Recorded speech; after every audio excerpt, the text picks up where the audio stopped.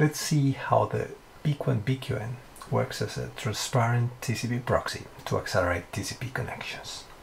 Suppose we have these two servers on the right they want to send seven packets as an example. They'll do it TCP in three rounds. First one and two, then four, trying to probe the capacity of the path.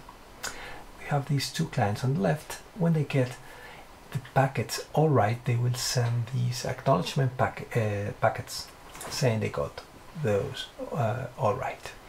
So on the top we'll have direct path, five seconds as an example, and the, on the bottom we'll st stick one of our nodes, BQN, between two and three seconds, and we'll count the packets as they are received by the clients.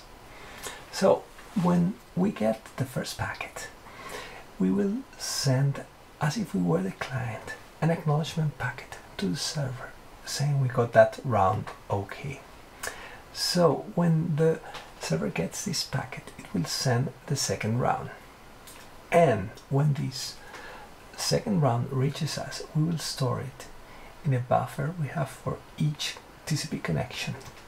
And when the real acknowledgement gets to us from the client, we are able to send the second round.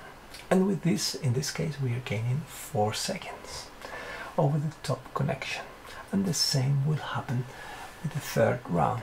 We're gaining four seconds for every round just because the end client is seeing the, the packets as coming from a node that is closer and closer means faster and we would have gained even more if there had been any packet losses between us and the end client because we would have been able to retransmit them earlier than the server line further away.